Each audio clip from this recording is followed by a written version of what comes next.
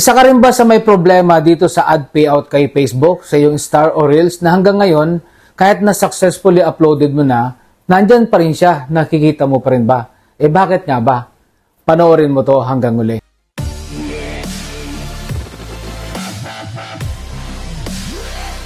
Welcome back to Nutnot Palaboy Tutorial. Unang-una po, gusto ko lang pong i-share sa inyo dahil sa napakarami po kasing nagtatanong sa akin ng mga followers natin at nalaman ko rin mismo na hindi lang pala ako naka-experience nito dahil marami nga po nagtatanong sa akin sa mga subscriber ko dyan sa YouTube. Shoutout po sa inyong lahat na kung saan ay eh, talaga naman pong naging problema itong pag-set up ng payout dito sa Facebook. Last April pa kasi ako nagsisimula na mag-set up, no? Ang dami ko mga followers na nagsiset up nga po ako at talaga naman mong lahat eh nagawan ko po yon. Mabilis lang po talaga mag-set up within 5 minutes lang po yan, natatapos ko po yan. Pero habang tumatagal ng tumatagal po, nagkakaroon po ng problema. At ngayon nga po, eh napansin ko lang ito, ewan ko lang kung kayo rin po ay napansin nyo sa mga nakapag-set up na po ng kanilang payout, eh kapag halimbawa po ito ang nakalagay, set up payout, is successfully po siya. Pero kapag ito po, yung add payout, normally, hindi po siya nagiging successful.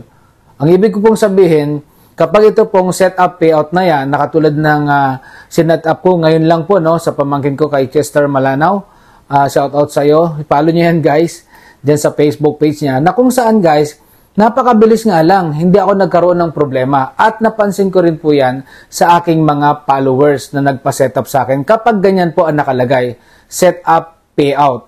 Napakaswerte mo guys kapag yan ang nakalagay sa iyo eh maswerte ka dahil hindi ka magkakaproblema in the end. Pero ito pong ad payout na yan na nakalagay, dyan po tayo nagkakaproblema.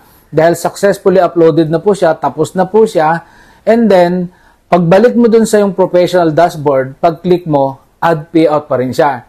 So, yung iba po, ang ginawa ko sa mga followers ko na nagpa-set up sa akin, inulit ko lang po siya. So, kumbaga, from the beginning, ulitin mo lang siya nagiging successful po yung iba. Siguro po kung sa sampung katao na sinet up ko, lima po sa kanila ay successful. Yung iba po, eh bumabalik pa rin po sa ad payout. So shout out po sa inyo and pasensya na po kayo. So paano nga ba ang dapat natin gawin dito? So ang dapat po natin gawin dito ay mag-report na po tayo kay Facebook. So ano nga po ba, paano nga po ba magre-report kay Facebook? Huwag po tayo doon magre-report sa support inbox. Ito po ituturo ko sa inyo para mas mapabilis yung proseso na kung saan magre-reply talaga sa inyo si Facebook ng madalian, hindi yung sa support inbox na talagang napakatagal po nga nga. So ito guys, yung ituturo ko sa inyo ngayon, ito po ay ginagawa ko po to sa laptop. Na kung saan, kung wala ka pong payout sa iyong uh, handphone, sa iyong cellphone, dito po sa laptop, pag binuksan nyo po, makikita nyo po yung payout nyo sa inyong Facebook page or Facebook main account po yan. So, pumunta lang po kayo sa mismong uh, uh, Facebook nyo and then click nyo po yung professional dashboard. Ayan guys, makikita nyo dyan, makikita nyo po yung payout. So, dyan na po natin, na po natin i-report kay Meta. Nang noon siya po ay magre-reply sa atin. So, i-click nyo lang po yan. Yan po nakikita nyo na yan. And then, scroll nyo lang po, pumunta po kayo doon sa star, okay? Doon po sa star. Kasi kung ano man po yung problema nyo, star or release man po yung sinet up nyo, doon lang po kayo pumunta. Tapos pumunta po kayo doon sa pinakamababa. Sa pinakamababa po na walang option. Kasi doon ipapaliwanag po natin. Kasi wala naman pong option dyan na about payout. Wala po akong nakikita. Ewan ko lang po kung iba, eh may nakita po sila pero sa akin po wala po talaga. So ganun po 'yon. So diyan po tayo magsusulat sa kanila. Ayan po, pakitingnan niyo lang po yung aking uh, tinuturo dito. I-replay niyo lang po kung hindi niyo po masyadong makuha. So ganito lang po yung pagre-report kay Facebook. Okay? Papaliwanag niyo po sa kanila kung ano ba yung nangyari, ganito ganito. Pagkatapos po, isasubmit na po natin 'yan. Pagka-submit po niyan, titingnan niyo po yung inyong uh, notification, ito po ang lalabas. Ayan, o di ba ang bilis po. Ibig sabihin, kahit papano, may acknowledge from Facebook na natanggap niya yung ating complaint. So pagkatapos po niya, ano, mag, ano po ang gagawin natin? Meron pong option dyan, no? Meron pong option dyan sa messages na kung saan ipapaliwanag nyo po uli. Maglalagay po tayo ng add attachment. So, screenshot po natin yung add payout na nakikita natin at explain natin sa kanila kung bakit nga po ba nangyayari yon. So, sa dami po kasi nga, ano po, no, dami pong problema kay Facebook. Isa na nga po dito yung nangyari nga, no, na error, yung regarding dito sa milyunan yung kita. So, move on na po tayo dyan.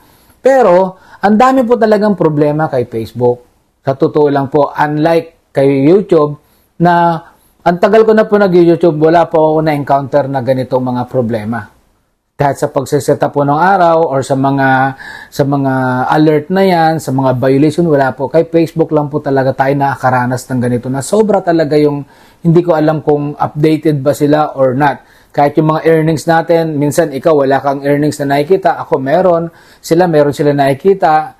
So hindi po natin alam eh. Ang mahirap po niyan, napakahirap po mag-report. So ito po yung pinaka the best kung paano ka mag-report kay Facebook. So shout out po sa lahat po ng aking mga na-set up diyan. Mapalad ka po kung ako, kayo po ay na-set up natin ng successfully, no? Pero dito po sa mga hanggang ngayon na loading na nga tapos na-set up na nila pero hindi pa rin matanggal yung payout. So sa ngayon po, ayan lang po yung aking uh, may share sa inyo na hoping na nakatulong.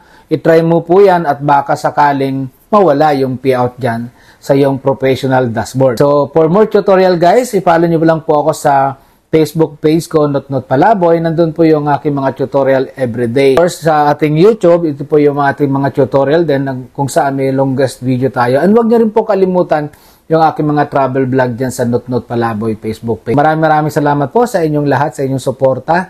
At uh, don't forget guys na bago tayo nagkaroon ng kaalaman sa mundong ito, eh, dati rin po tayong walang alam. Abangan niyo po yung mga susunod nating tutorial dito sa YouTube. Thank you so much!